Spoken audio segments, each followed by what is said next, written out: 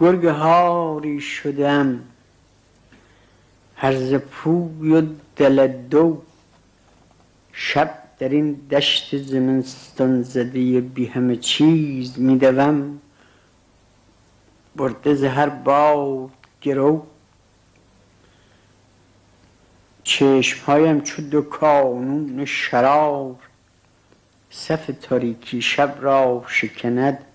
همه بیرحمی و فرمان فرار. گرگ هاری شدم خون مرا ظلمت زهر کرده کرده چون شعله چشم تو سیاه. تو چه آسوده و بیباک خرامی ببرم؟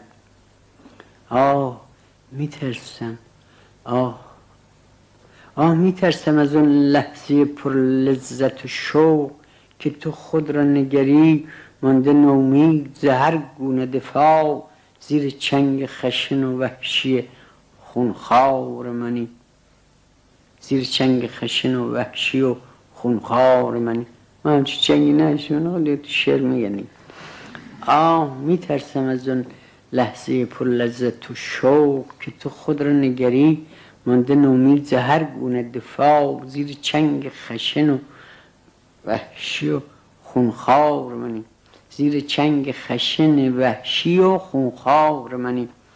پوپکم آهو وکم پوپک یعنی مثلا نه. شانه و سر شانه و سر.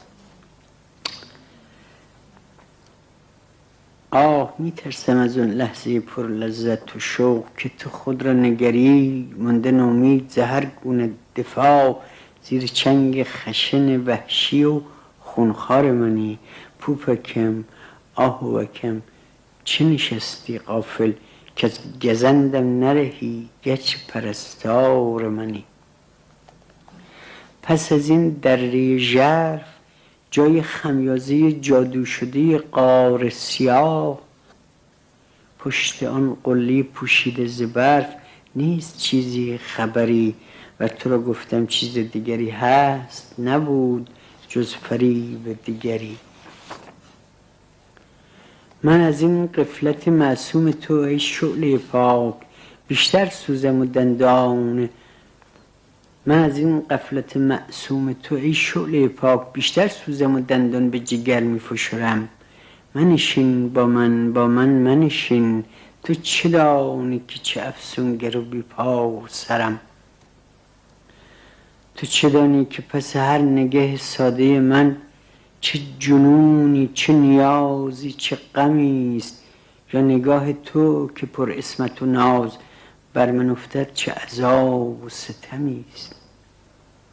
دردم این نیست ولی دردم این است که من بی تو دیگر از جهان دورم و بی خیشتنم پوفکم آهوکم تا جنون فاصله ای نیست از اینجا که منم.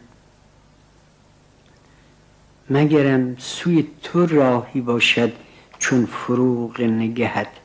ورنه دیگر به چه کارایم من بی تو چون مرده چشم سیهت منشینم ما با من منشین تکه بر من مکنه پرده تناز حریر که شراری شدم پوپکم آهوکم گرگه هاری شدم.